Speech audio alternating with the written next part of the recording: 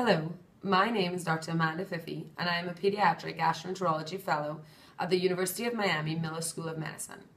I have been asked by the editors of Pediatric Health, Medicine, and Therapeutics to discuss an article soon to be published entitled Optimal Management of Pediatric Hepatitis C Infection, a review.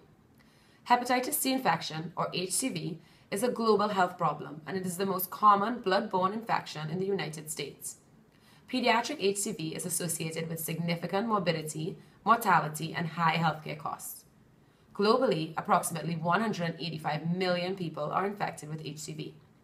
However, according to the Institute of Medicine, hepatitis C infection remains largely underdiagnosed with at least 50% of infected subjects unaware of their HCV status.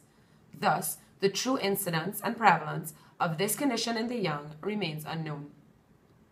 Although HCV is thought to induce relatively mild disease, children may present with more advanced clinical manifestations, and hepatitis C infection remains the leading cause for liver transplantation in adults in the US. Based on a consensus report issued in January 2010 by the Institute of Medicine, it was noted that increased knowledge and awareness about chronic viral hepatitis, improved surveillance, and better integration of services are needed. The natural history of pediatric hepatitis C is not fully understood.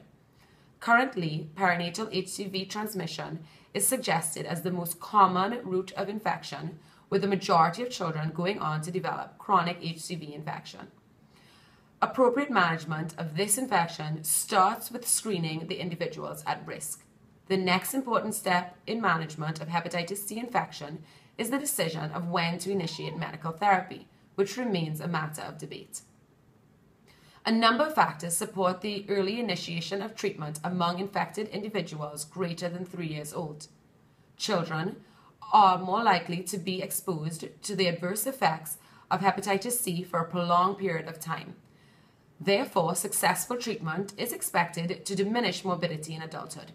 In addition, early treatment of infected children provides opportunities to prevent further spread of the disease to the population at large.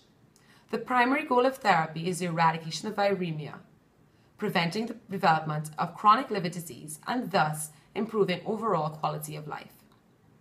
Currently, medications approved by the Federal Drug Administration for use in pediatrics are only approximately 50% effective for HCV genotype 1. Significant advances are expected with newer agents that are currently under investigation. Thus, at present, it is prudent to consider the treatment of infected children in the context of a tr- clinical trial. Thank you.